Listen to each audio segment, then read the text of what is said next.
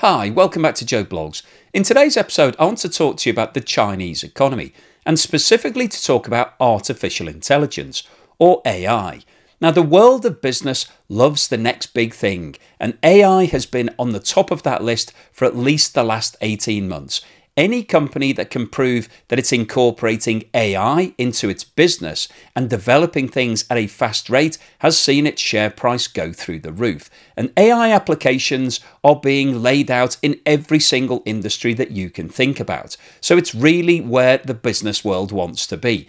And unfortunately, from China's point of view, Huawei, which is its leading tech company, isn't at the cutting edge of AI technology. It is developing chips that are trying to compete with some of the big producers around the world, but they're not there yet. So, as a result of that, China is still needing to import the latest AI chips from places like the USA and Europe. And unfortunately, lots of sanctions have been applied against China, preventing them from getting hold of these AI chips as a result of the fact that the USA believes that China is using this technology to develop its military capabilities. So, in today's video, we'll talk about AI. We'll have a look at what artificial intelligence actually means, what it is, and what the products are that are being produced. We'll then talk about who the main companies in the world that are producing the leading AI microchips are and why this is a problem from China's point of view. We'll then have a look at the sanctions that have recently been ramped up by the USA, preventing China getting access to the latest AI chips. We'll talk about the problems that are now manifesting themselves in the Chinese economy because Chinese businesses are now suffering as a result of these shortages. And then finally, today, I'll wrap up with my summary as to what I think the implications of the shortage of AI technology in China are on the Chinese economy right now and what the implications will be over the course of the next 6 to 12 months. But before we get started on all of that, once again, I'd like to say thank you so much to everyone that's supporting the channel. If you've bought me a coffee, sent me a YouTube super thanks, or signed up as a patron or a member, you're really helping to support the channel, so thank you so much. Artificial intelligence has become really big news over the last few years. Most people's first interaction with AI was through the Siri app on the Apple phones, where you could ask the phone to actually answer questions for you, or through the Alexa app that was through Google, where you can ask it to do things like play music, or switch your lights on, or answer questions. Alexa, how tall is Mount Everest? Mount Everest's height is 29,029 feet, 8,848 meters. But I think the highest profile development of artificial intelligence in recent times was the introduction of an app by a company in the USA called OpenAI called ChatGPT. And ChatGPT enabled you to ask questions and receive really detailed answers in a matter of seconds. And this became a dream for students all around the world because they could get their essays written without actually doing any work. But artificial intelligence isn't just for fun. It isn't there just to provide entertainment for everybody. It's actually a cutting edge technology that can provide fantastic results in a variety of different industries. In fact, every single thing that you can think of can probably be improved by using AI. And in terms of categorizing AI, there are four different types.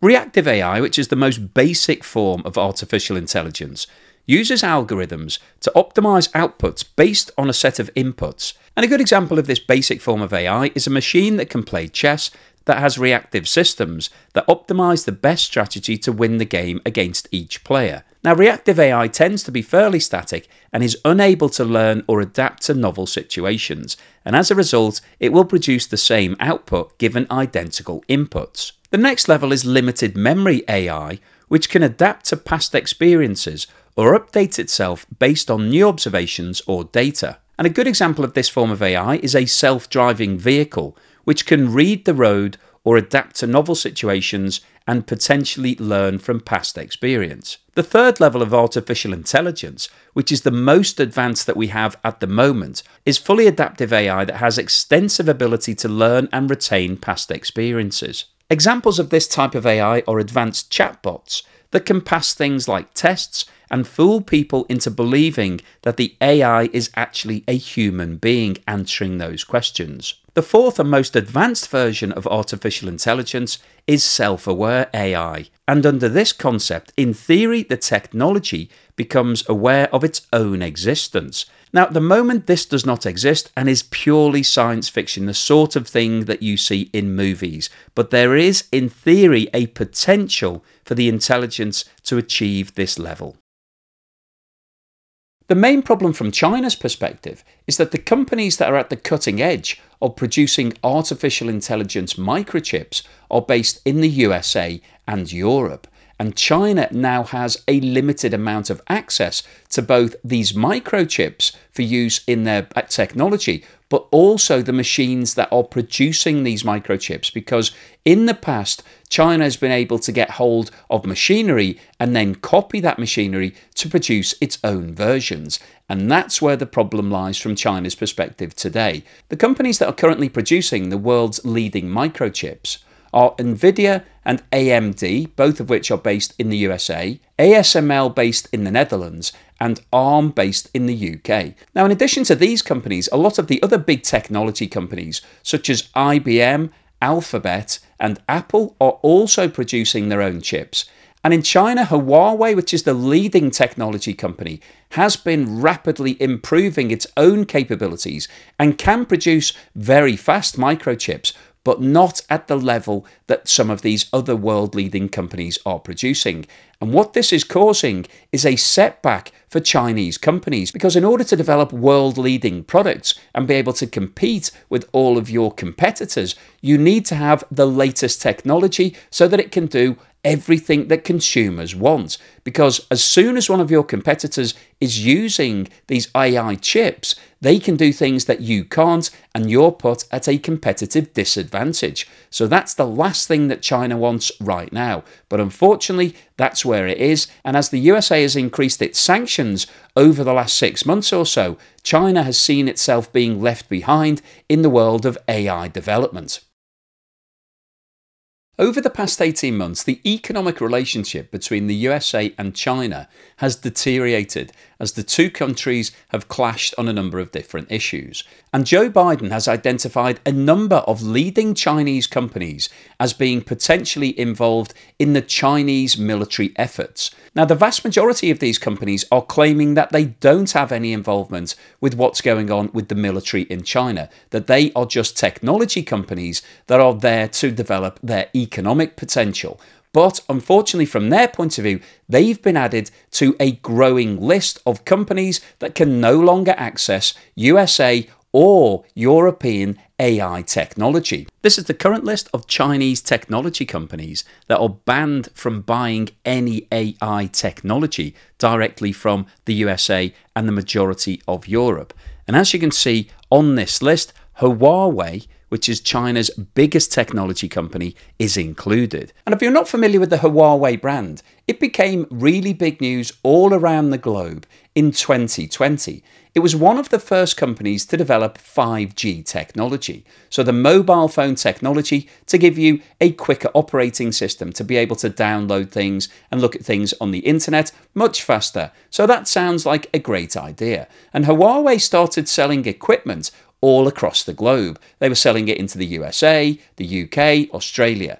But all of a sudden, somebody became concerned that the data that was being passed through these systems could actually be intercepted and used by China for spying and security purposes. And as a direct result of those concerns, countries such as the USA, the UK, and Australia implemented an outright ban on the use of all Huawei equipment. And in some situations, they'd actually paid and installed this equipment and then had to have it removed. So this was a major news item at the time. And Huawei remains a banned product in many countries around the world for those same reasons. Now, as I mentioned earlier in the video, Huawei have been rapidly trying to improve their own capabilities. They're trying to develop their own artificial intelligence microchips. But this isn't the sort of thing that you can do overnight. Technology takes time to develop and is not something that you can just build from scratch. You need to build on all of the previous developments that have happened over the last 50 years. So Huawei are rapidly trying to copy what's happening elsewhere around the world. But as a result of the ban on not just the export of the chips themselves, but also all of the equipment, the USA have said they do not want any of that equipment landing in China so that it can be dismantled and potentially copied.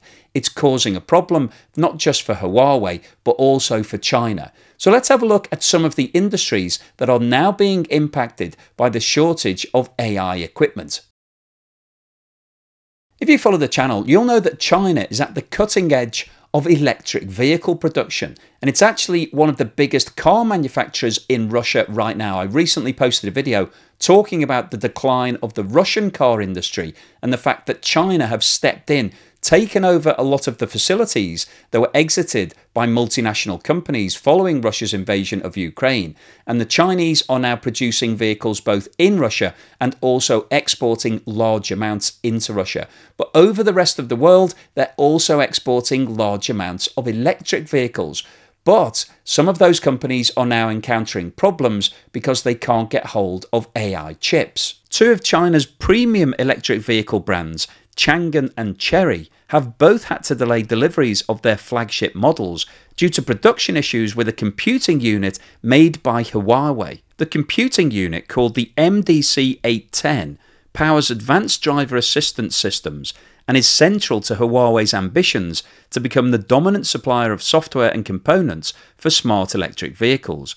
The production issue relates to a shortage of a component that goes into the MDC 810, and the problems come at a time when Huawei is seeking to secure more investors for its four year old intelligent automotive solution business that it plans to spin off. The MDC 810 allows the car manufacturers to offer so called intelligent driving features that include autonomous driving on highways and helping drivers navigate traffic jams similar to what Tesla's autopilot provides in North America and it's reported that features such as these have become a major selling point and are a key reason why manufacturers have sought to partner with Huawei rather than overseas chip companies. In addition to the problems with the electric vehicle manufacturers, Huawei is also having problems itself. Huawei is one of the biggest producers of mobile phones in China. In fact, Apple recently announced a profits warning as a result of the fact that Chinese consumers have dropped the Apple brand and are moving towards Huawei products.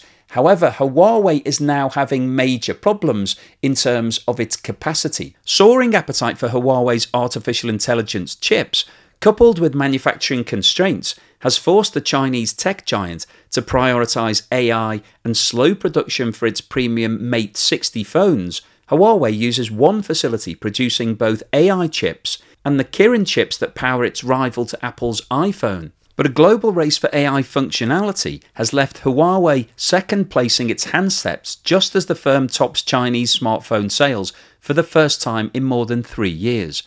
The situation offers a rare glimpse into Huawei's challenges as it works to rebuild since US sanctions in 2019 cut access to advanced chip making tools on national security grounds and crippled its smartphone unit. It also illustrates the impact of US restrictions on sales of AI processing chips to China a market that was 90% controlled by US giant Nvidia before the latest curbs pushed Chinese customers to domestic alternatives. Huawei has been low key on its chip manufacturing capability and ambitions, and there is little public information on its progress or how it has managed to produce advanced chips. Its advancements became apparent after it surprised market watchers with an unflagged August launch of the Mate 60 mobile phone series. Dismantlement of the phones undertaken online found that the phones possessed a Chinese made chip capable of fifth generation telecommunication speeds. Analysts said Huawei may have been able to achieve this together with know how from China's largest contract chipmaker,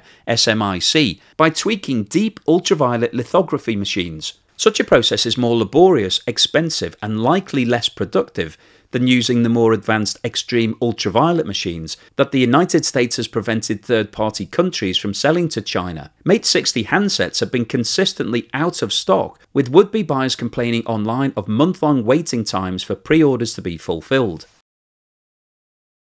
So, what's the summary and conclusion today? Well, I wanted to post this video because we've been talking a lot about what's happening in China over the last few weeks. We've got problems in the stock market. It's down to a five year low as a result of the fact that there is a complete loss of confidence amongst Chinese consumers.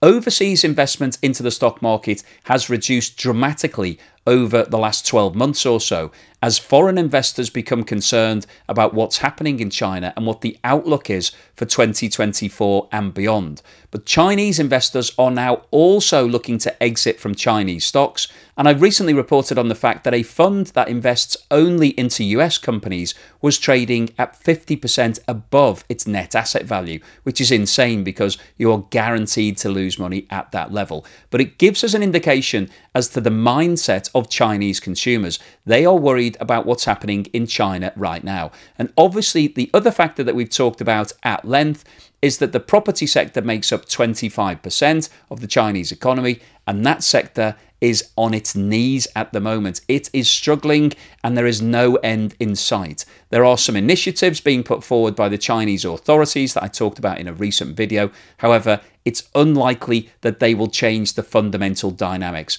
The issue at the moment is that consumers in China have lost all confidence in property and property developers, and the property developers have somewhere in the region of 20 million apartments that have been prepaid in advance that need to be constructed. So China needs to come up with around half a trillion dollars of investment just to build out those apartments.